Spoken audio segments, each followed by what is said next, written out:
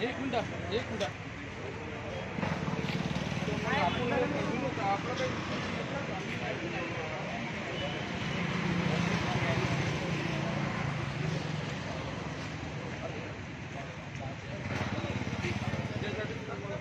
अमरावतीमध्ये संप सुरू आहे. आणि आज संपाचा सोळावा दिवस आहे. आज जो अ, मंत्रिमंडळात जो निर्णय झाला तो पगारवाढ मात्र विकीकरणाला त्यांनी सप- साफ नकार दिलेला आहे. पगारवाढाबद्दल काय आपल्या यांच्या प्रतिक्रिया ते आपण जाणून घेऊया. मला सांगा आज पगारवाढ तुम्हाला देण्यात आलेली आहे मात्र विलीकरणाचा स्पष्ट नकार दिलेला आहे.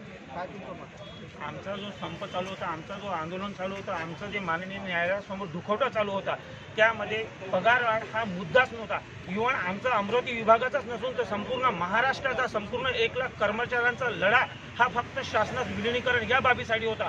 आणि आम्हाला तो संविधानिक मार्गाने परमपूज्य डॉक्टर बाबासाहेब आंबेडकर यांच्या संविधानिक मार्गाने तो आम्हाला आमचे ॲडव्होकेट गुरुरत्न सदावर्ते साहेब हे माननीय हायकोर्टातून खेचून आणील. त्याच्यामुळे आम्ही या वेतनवाढीला डगमगणार नाही आणि या शासनाच्या पोकळ धमकीला किंवा या शासनाच्या तुटपुंज्या पगारवाढीला आम्ही मान्य नाही. आम्हाला हा हा प्रस्ताव मान्य नाही. आम्हाला आमची संपूर्ण महाराष्ट्रातील एक लाख कर्मचाऱ्याची एकच मागणी आहे की आम्हाला शासनात विलिनीकरण पाहिजे आणि जोपर्यंत मिळणार नाही जोपर्यंत राज्य शासन आम्हाला देणार नाही तोपर्यंत आम्ही आमच्या निर्णयावर ठाम आहे. आणि महाराष्ट्रातील एक लाख कर्मचाऱ्यांपैकी कोणताही चालक वाहक यांत्रिक हा एकही बस काढणार नाही. हे महाराष्ट्र राज्य शासनाने कान उघडून ऐकून घ्यावे. आणि आम्ही एक लाख कर्मचारी या नात्याने राज्य सरकारला विनंती करू इच्छितो. आम्ही त्यांना आवाहन करू इच्छितो की तुम्ही फक्त आमची एकच मागणी आहे की जी राज्य शासनामध्ये विलीन करा. आम्हाला हे नुसतं तुमचं वेतन देऊन चार हजार पाच पाच हजार वाढ देऊन यामध्ये आमच्या भवितव्य उज्ज्वल होणार नाही. आणि आमच्याच भवितव्याचा प्रश्न नाही तर सामान्य जनतेचा जे आमचे प्रवासी बांधव आहे त्यांचा सुद्धा या या विलीनीकरणातून मोठा फायदा होणार आहे.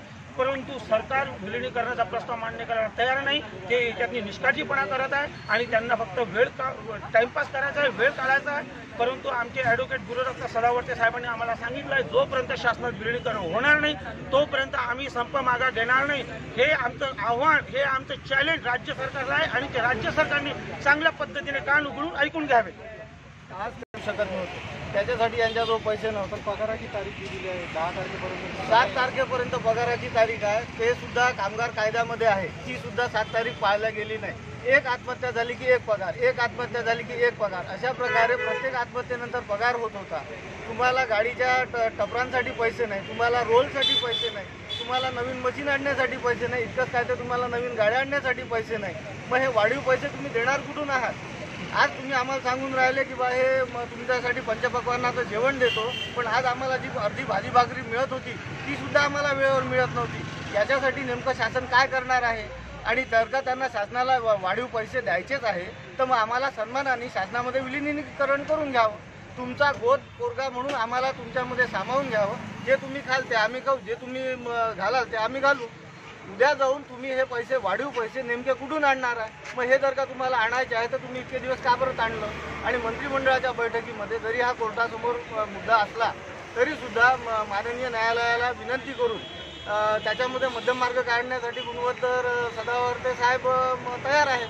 मंत्रिमंडळाने विलिनीकरणाच्या मुद्द्यावर पॉझिटिव्हनेस दाखवावी आणि त्यांना विनंती करावी माननीय उच्च न्यायालयाला की बा आम्हाला ही तारीख तुम्ही अलीकडे करून द्यावी जेणेकरून आम्ही यांच्या मागण्या मान्य करतो आणि एका ओळीचा फक्त प्रस्ताव ज्याला जे आर म्हणतो शासन निर्णय किंवा यांना आम्ही शासनामध्ये विलिनीकरण करून घेतो त्याच्यासाठी त्यांनी सहा महिने लावावे आठ महिने लावावे पण एक शासनामध्ये विलिनीकरण करून देतो एवढी ओळ लिहायसाठी त्यांना इतका वेळ का बरं लागतो आहे? कामगार